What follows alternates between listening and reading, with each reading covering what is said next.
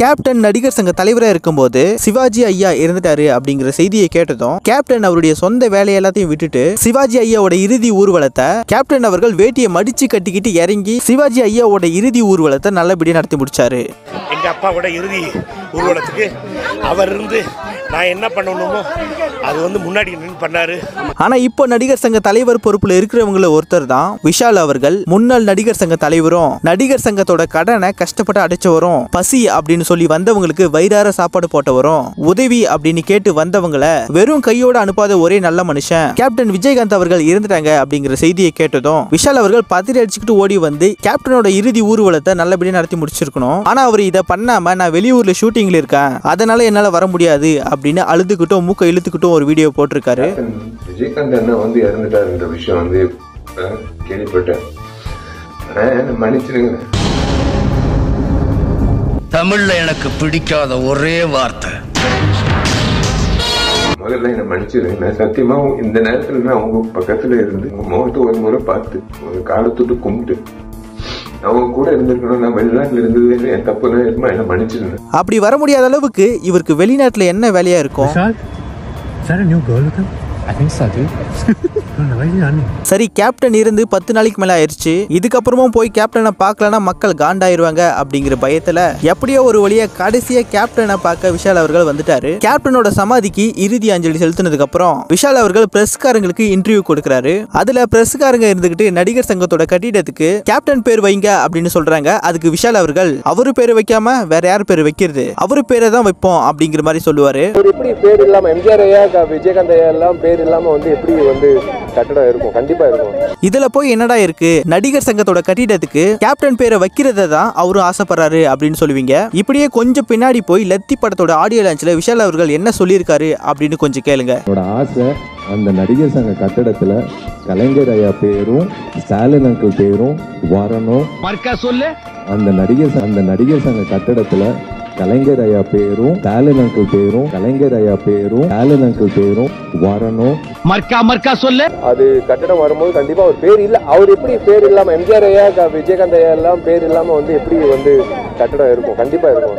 நீ நடிகண்டா நடிகண்டா சாதாரண ஒரு நடிகனா இருந்துட்டு கேப்டனோட டெத்துக்கு வராம ஒரு எட்டு பத்து நாள் கழிச்சு கேப்டனோட சமாதியை பார்க்க வந்துட்டு அந்த இடத்துல ஒரு மிகப்பெரிய ஆக்டிங்கை போட்டு நான் நடிகன் இல்ல மகா நடிகன் அப்படின்னு பேர் வாங்கினேன். சில நடிகர்களை தான் இந்த வீடியோவில் நம்ம பார்க்க போறோம். ஸோ வீடியோக்குள்ள போறதுக்கு முன்னாடி இந்த வீடியோக்கு ஒரு லைக் கொடுத்துருங்க. அப்பதான் இந்த வீடியோ நிறைய பேருக்கு போய் சேரும். இதன் மூலியமா நம்ம ரசிச்சு பார்க்குற நடிகர்களோட உண்மையான முகத்தை நிறைய பேர் தெரிஞ்சுக்க முடியும். சரி இப்போ வாங்க நேரத்தை வேஸ்ட் பண்ணாம வீடியோக்குள்ள போகலாம். நம்ம தல அஜித் அவர்கள் பொதுக்கூட்டம் ஆடியோ லான்ச்ல கலந்துக்க மாட்டாரு அப்படின்னு நமக்கு தெரியும். இதே மாதிரி லேடிஸ் சூப்பர் ஸ்டார் அப்படின்னு ஒருத்தங்க இருக்காங்க. அவங்களும் நம்ம தலையோட வழியை பின்பற்றுற மாதிரி பொது நிகழ்ச்சிகள்ல கலந்துக்க மாட்டாங்க ஆடியோ லான்ச்சில் கலந்துக்க மாட்டாங்க. சரி இப்படி இருக்கிறவங்க கேப்டனோட இறப்புக்கு வராம மனசுக்கு கஷ்டப்பட்டுக்கிட்டு வெளிநாட்டுல எங்கேயாவது சுத்திட்டு இருப்பாங்க அப்படின்னு நான் நினைச்சேன். ஆனா கலைஞரோட நூற்றாண்டு விழாவில் பார்த்தா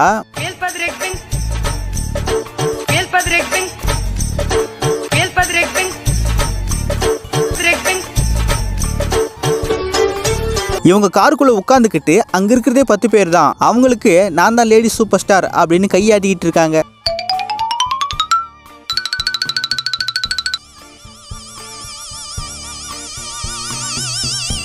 லேடிஸ் சூப்பர் ஸ்டார் அவர்களே நீங்க நீங்க நடிச்ச படத்தோட ஆடியோ லான்ச்லயே கலந்துக்க மாட்டீங்க. அப்ப எப்படி கலைஞரோட நூற்றாண்டு விழாவில் கலந்துக்கிட்டீங்க இப்ப ஆட்சியில் இருக்கிறவங்கள பகச்சுக்கிட்ட நம்ம சோழியே முடிஞ்சிரும் அப்படிங்கிற பயமா? வடிவேலோட ஆரம்ப கட்டத்துல வடிவேல் போட்டுக்கிட்டு நடிக்க துணி கூட இருக்காது. அந்த மாதிரி ஒரு இக்கட்டான சமயத்துல கேப்டன் அவர்கள் வடிவேலுக்கு துணி வாங்கி கொடுத்து நடிக்க சொல்லியிருப்பாரு. இந்த ஒரு விஷயத்துக்காகவே வடிவேல் அவர்கள் கேப்டனோட இறப்புக்கு வந்து நான் செஞ்சது தப்பு மேடையில் நான் உங்களை அப்படி பேசிக்க கூடாது அப்படின்னு சொல்லி மன்னிப்பு கேட்டிருக்கணும். அப்படி இல்லையா? மீடியாவை கூப்பிட்டு கேப்டனோட இறப்புக்கு மரியாதை செலுத்திருக்கணும் இதை எதையுமே செய்யாம இவரு வீட்டுக்குள்ளே அடக்காத்துக்கிட்டு உட்காந்துக்கிட்டு இருந்துட்டு கலைஞரோட நூற்றாண்டு விழா இருக்கு அப்படின்னு சொன்னதும் இரவு நேரம் அப்படின்னு கூட பார்க்காம கூலிங் கிளாஸ் மாட்டிக்கிட்டு வந்து இறங்கியிருக்காரு.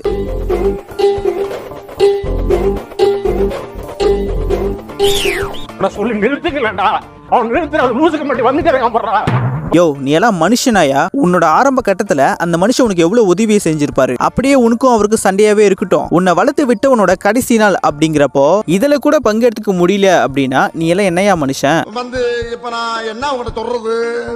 அம், இந்த ஐஸ்வர்யா ராஜேஷ் அவர்கள் ஏதோ ஒரு கடை திறப்பு விழாவுக்கு போயிருக்காங்க. அங்க பிரஸ்காருங்க நீங்க கேப்டனோட இறப்புக்கு வரலையா? அப்படின்னு கேள்வி கேட்டிருப்பாங்க. இதுக்கு ஐஸ்வர்யா அவர்கள் கேப்டன் இருக்கும்போது நான் பாண்டிச்சேரியில ஷூட்டிங்ல இருந்தேன். அதனால என்னால உடனே கலந்துக்க முடியல அப்படின்னு சொல்லி சமாளிச்சிருப்பாங்க. ரொம்ப வருத்தமா இருந்தது. சார் நான் ஊர்ல இல்ல சார். நான் பாண்டிச்சேரியில நேற்று நைட் தான் சார் வந்தேன். இப்போ கலைஞரோட நூற்றாண்டு விழா வந்துருச்சு. இந்த விழாக்கு முன்னாடியே நம்ம போய் கேப்டனோட சமாதியை பார்த்துட்டு வந்தாதான் இந்த விழாவில் நம்ம பங்கேற்றுக்கிறதுக்கு முன்னாடி கேப்டனோட ரசிகர்கள் இருந்து நம்ம தப்பிக்க முடியும் அப்படின்னு பிளான் பண்ணி ஐஸ்வர்யா ராஜேஷ் அவர்கள் ஒரு புதுவிதமான ஆக்டிங்கோட கேப்டனை பார்க்க வந்திருந்தாங்க.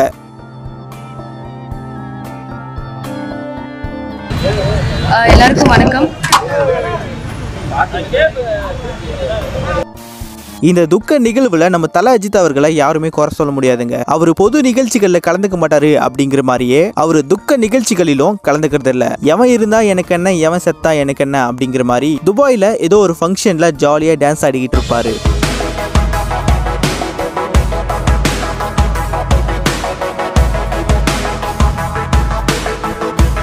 அந்த காலத்துல தல படங்கள் இட்டு அவருக்கு முக்கிய காரணமா இருந்தது எஸ்பிபி பாடிய பாடல்களும் ஒரு முக்கிய காரணம். இவருக்காக பாடல்களை பாடி இட்டு கொடுத்த எஸ்பிபி அவரோட இறப்புக்கே இவர் வரல. யூ நோ சம்திங் அஜித் முதல் முதல்ல ஹீரோவாக ஆக்ட் பண்ணது தெலுங்கு படம்.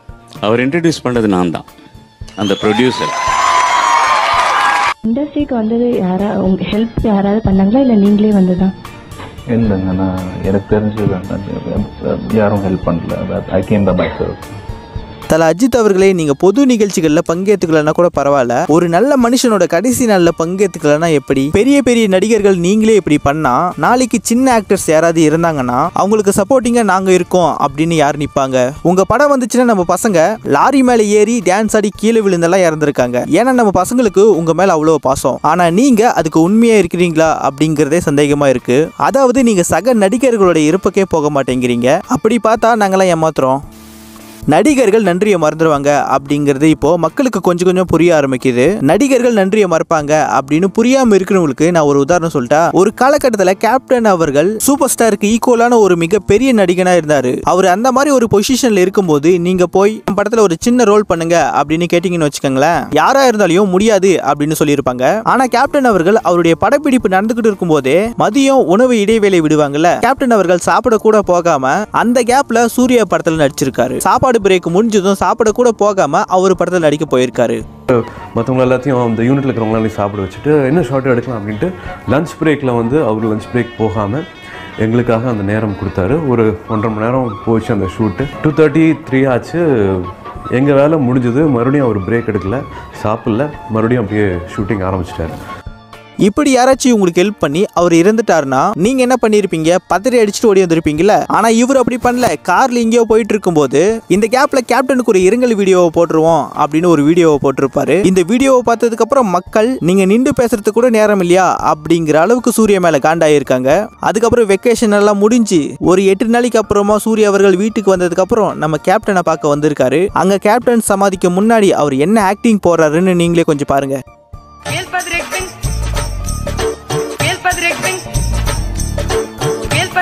Elpadre Acting. இரங்கல் முடிஞ்சதுக்கு அப்புறம் சூர்யா அவர்கள் பிரஸுக்கு இன்டர்வியூ கொடுத்திருப்பாரு. இந்த இன்டர்வியூல ஸ்டார்ட் கேமரா ஆக்ஷன் அப்படின்னு சொன்ன உடனே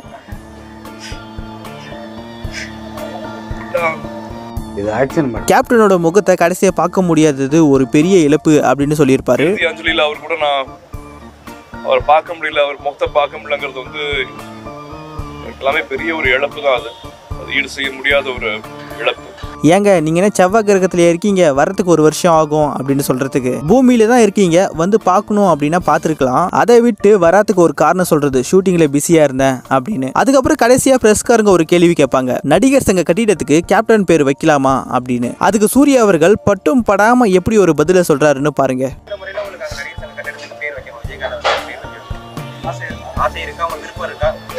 அது மீட்டெடுத்துல அவருக்கு பெரிய பங்கு இருக்கு. அவருக்கான மரியாதை நிச்சயமா செஞ்சாகணும்.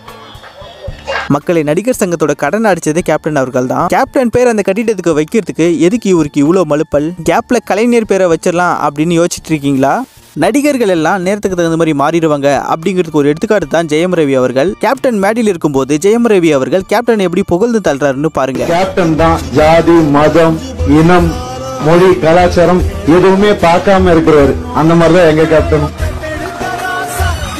அதுக்கு தான் நாங்க அவருக்கு கேப்டன் எப்பவுமே சொல்லுவோம்.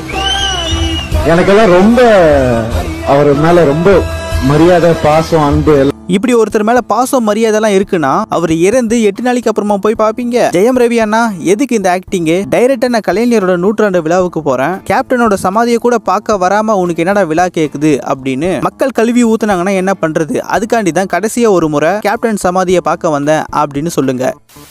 தனுஷோட ஃபேமிலியில ஒரு டாக்டர் இருக்காங்க அப்படின்னா அதுக்கு முக்கிய காரணம் நம்ம கேப்டன் அவர்கள் தான் கேப்டன் அவர்கள் நடிகர் சங்க தலைவரா இருக்கும்போது தனுஷோட அக்காவுக்கு ராமச்சந்திரா காலேஜில் டாக்டர் சீட் வாங்கி தர சொல்லி கேட்டிருக்காங்க. அதுக்கு கேப்டன் அவர்களும் தன்னுடைய ஷூட்டிங் ஷெட்யூல் எல்லாம் ஒரு நாளைக்கு ஓரங்கட்டி வச்சுட்டு காலையிலிருந்து சாயந்தரம் வரைக்கும் காலேஜில் வெயிட் பண்ணி டாக்டர் சீட் வாங்கி கொடுத்துருக்காரு. இப்படிப்பட்ட ஒரு மனுஷன் இறந்த போது தனுஷ் அவர்கள் ஷூட்டிங்காவது மண்ணாங்கட்டியாவது அப்படின்னு எல்லாத்தையும் தூக்கி போட்டு ஓடி வந்திருக்கணும். ஆனா இதெல்லாம் பண்ணாம இவர் என்ன பண்ணிருக்காரு அப்படின்னா கேப்டன் மில்லர் படத்தோட ஆடியோ லான்ச்ல கேப்டனோட இறப்புக்கு அஞ்சலி செலுத்துற விதமா பாட்டு பாடி இருக்காரு ராசாவே ஒன்ன காணாத நெஞ்சு காத்தாடி போலாடுது விஜய் டிவி புகழ் இருக்காருல்ல அவர் நம்ம கேப்டன் சமாதிக்கு முன்னாடி வந்து ஒரு மிகப்பெரிய சபதத்தை கையில் எடுத்திருப்பாரு. அது என்ன அப்படின்னா கேப்டனோட ஆபீஸ்க்கு யாராச்சும் பசி அப்படின்னு சொல்லி வந்தாங்கன்னு வச்சுக்கோங்களேன் கேப்டன் அவர்கள் அவங்கள சாப்பிட வைக்காம அங்கிருந்து அனுப்பவே மாட்டாரு. சாப்பிட கூட விட மாட்டேங்கிறாங்களே நினைக்கும் பொழுது சாப்பாடு நல்லா போடணும் அப்பதான் முத முத என்னுடைய கம்பெனி ராவுத்தர் பிலிம்ஸ் நான் ஆரம்பிச்ச உடனே